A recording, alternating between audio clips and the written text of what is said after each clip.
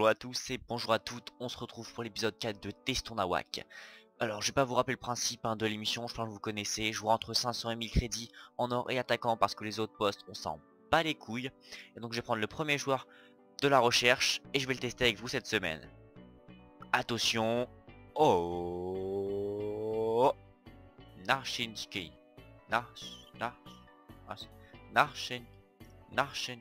Narshin... Narshin du radien. Mais bon, je le connais déjà, oui, car j'ai déjà testé dans mon FUT 13. Quand on regarde ses stats, euh, pas mauvais. Par contre, j'ai acheté un joueur qui a deux contrats, j'ai un peu le seum. Putain, je me suis fait baiser. 93 de vitesse, 116 de dribble, 112 de passe, euh, pas mauvais. Il a 4 étoiles geste technique. Right. Enfin, un joueur qui a du skill. C'est sûr que Current c'était pas mieux avec 2 étoiles geste technique. Je pense que ça peut faire quelque chose de pas trop, de pas trop mal. Donc voici les stats en détail de Luciano Narching. Alors je vais aller plus rapidement sur les stats en détail car plusieurs personnes m'ont dit que c'était assez long et qu'ils en battaient les couilles en gros hein, pour être sympa. Donc il a 94 accélération, 93 en vitesse, il est très très rapide, il a 62 en force, c'est un peu une petite pédale. Euh, ensuite dans les autres stats il a des stats plutôt homogènes, il a 33 en 39 en agressivité, encore une marque de la pédale. Euh, placement offensif 72, c'est pas mauvais. Ensuite, les stats plutôt nuls hein, dans toutes les autres stats. Hein. Passe courte, 313. Euh, ça va, mais on s'en bat un peu les couilles. Euh, ce qui est intéressant, c'est les longues passes. Et comme on voit pour les centres. Et comme on voit, il a 65. C'est de la merde. Sinon, en prison coup franc, 108. 76 en dribble. C'est pas mal, il a 4 étoiles geste technique. Normal. En centre, il a 79. Ah, ça peut être mieux tout de suite. 60 en volée.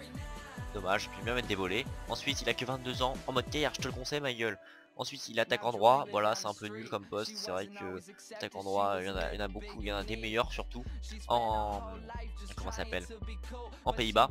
Il a une contribution offensive moyenne et défensive moyenne, c'est de la merde, des contributions de merde pour moi. Un attaquant doit avoir forte et faible, mais nul la moyenne moyenne, c'est vraiment nul.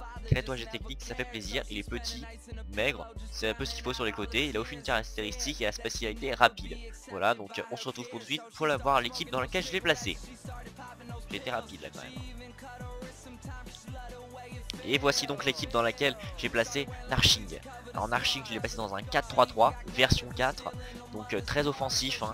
Comme on voit il euh, n'y a pas de MDC, il n'y a que des MC et des MOC Donc euh, je l'ai donc mis en AD Et en buteur il y a donc Mostefar El Kabir alors Mostefar El Kabir je l'adore hein. C'est un très bon joueur, je joue avec lui depuis fut je sais pas combien Il est très très bon, il a 4 étoiles geste technique 4 étoiles mauvais pied 81 de vitesse.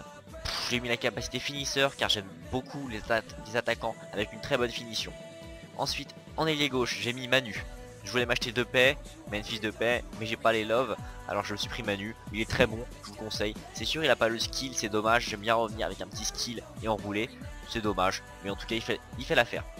Ensuite, j'ai mis Giorgino Viginaldum. Euh, bah, c'est à peu près le même que l'année dernière, sauf qu'il est pas en or rare. Il est un peu moins fort, je pense, que l'année dernière. J'ai pas testé sa frappe, mais un peu moins bien. Euh, sinon, mais toujours pour 350 crédits, je vous assure, même s'il serait beaucoup moins fort, ça vaudrait quand même le coup. En milieu central, j'ai mis le roi fer, le roi fer, un joueur que j'adore. 1m88, presque 1m90, hein, presque se le dire. 85 de tête, 75 de vitesse, 73 de passe, 75 de défense. Toutes les stats sont exceptionnelles. Avec lui, acheté pour 400 crédits, en plus un joueur de BPL, que, demande le peuple? Ensuite j'ai mis Marco Van Ginkel. Grosse déception. Je vous le cache pas, grosse grosse grosse déception dans cette équipe. Vraiment je l'ai pas trouvé bon du tout. Il a des stats plutôt homogènes hein, quand on voit un peu un mini l'euro à faire. Lui finalement euh, j'ai trouvé très très grand. Limite j'ai cru jouer avec Peter Crouch tellement qu'il était grand. Euh, je l'ai pas trouvé super agile avec le ballon. Il était plutôt lent. J'ai pas aimé. Alors que qu'il est plus rapide que Fer et pourtant moi je l'ai trouvé moins rapide. Va savoir pourquoi. Ensuite en défenseur gauche je voulais acheter Van Ridge. J'avais pas les crédits alors j'ai acheté Lorenzo Brunet. Burnet. J'aime bien son prénom. 81 euh, de vitesse, voilà, un, défenseur gauche qui a plus de 80 de vitesse, pour moi c'est ce qu'il me faut, j'ai pas besoin de plus, surtout que vu le prix je l'ai payé, 350 crédits, euh, what else. De l'autre côté, j'ai pris Joshua, Joshua, Joshua Brunet, 1m81, 85 de vitesse, j'adore, quand je prends le PSV c'est simple, il est, je le mets milieu droit carrément, tellement je le kiffe. Et je passe Narchinski en, buteur. J'aime beaucoup. Ah, j'ai spoilé. Ensuite, Douglas. Douglas, défenseur central. 66 de vitesse, 76 de défense, 77 de tête. très très bon, très très bon. Mais pas autant que Etinga, parce que Etinga, ça fait plusieurs FIFA que je le pratique. Ça fait quelques FIFA que je me fais des équipes néerlandaises. Et je peux vous dire que Ettinga est tout le temps dans mes équipes et cette année je pouvais pas m'en passer. Vraiment c'est un joueur, il a largement baissé hein, quand on voit ses stats. Hein. Il est passé de 70 je crois à 65 de vitesse. Mais bon vu que la vitesse est moins importante sur ce FIFA, ça m'a pas trop gêné. Et ensuite au goal j'ai mis Team Krul. Alors j'étais entre Krul et Stekelenburg. Et finalement j'ai choisi Krul. Krul j'aime beaucoup, il a des stats homogènes. En plus je l'ai payé 350 crédits. Que demande le peuple? Voilà donc euh, c'est tout pour cette équipe. Elle m'a coûté vraiment pas cher. Je crois m'a coûté euh, un peu plus de 5000 crédits je vous la conseille, à part euh, Marco Van Ginkel. Donc c'était tout pour cette équipe, on se retrouve pour les phases de gameplay, à tout de suite.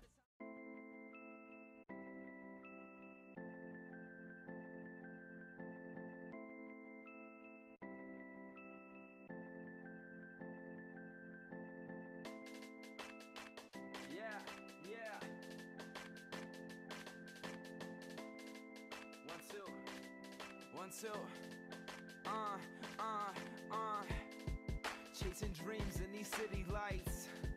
Writing rhymes on these summer nights. Despite the hype and all the light I'm gonna do this till it fades to white. Until the day I die. What do kids have if they don't have dreams? All they have is lost hope in them TV screens. And they're left wondering what it means To be a gentleman, man of God God? Man, that's a problem. I'm just a man damned And I can't solve them But I can be a role model though All have fallen. And I'm just lucky that I already found my calling. So why you gotta put makeup on God's drawing? I really feel for the kids of this generation. Seems like they'll all be a part of the same equation. Seems like we're all lost in a world of PlayStation. Seems like we're all coming up from the same basement. When the crowd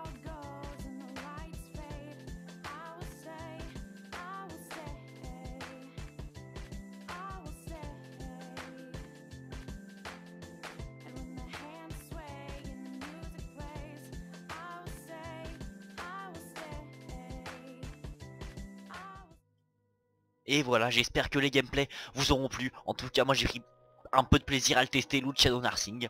Même si, comme vous voyez, je lui ai mis une note de 7,5 sur 10.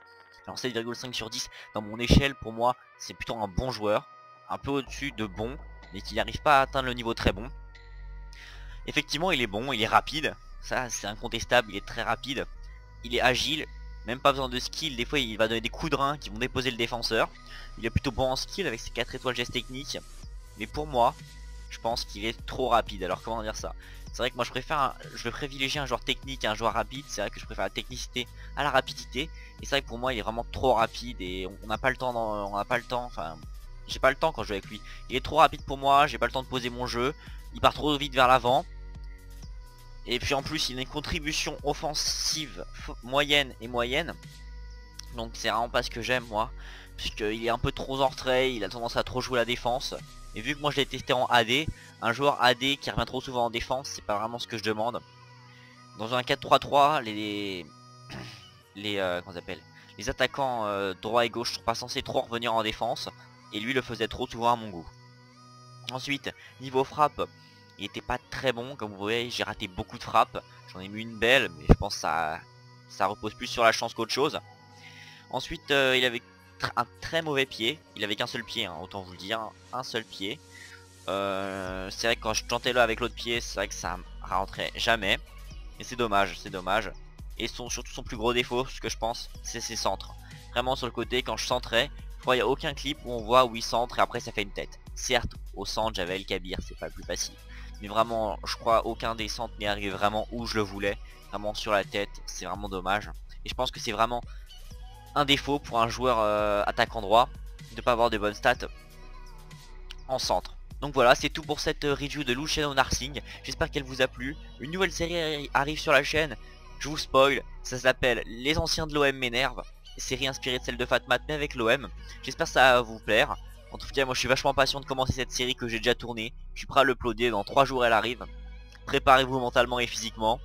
C'était le Teston d'Amok épisode 4, j'espère que ça vous a plu. A plus tout le monde